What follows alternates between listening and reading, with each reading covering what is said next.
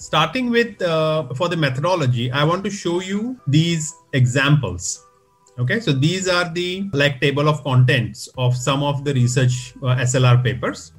Uh, you can see, and there is variation. You know, uh, you can see some papers uh, have these headings. So this is quite detailed. We will go. We will do something similar along these lines. Some papers are very um, only cover do they do cover all these aspects, but they have not divided it into subsections. So what do we have here? Let's look at this first bit. Uh, so we start here with selection of primary studies, inclusion exclusion criteria, selection of results, quality assessment, data extraction, data analysis, and so on. So this is a broad uh, very detailed list of sub- subsections that uh, the methodology section should have. In this paper here, what do they have? They have general database search, focused searches, additional searches, analysis, research question, and coding procedure.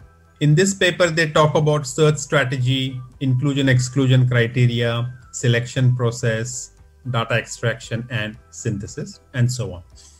So, broadly speaking, we look at the methodology from planning perspective. These are some of the activities in planning.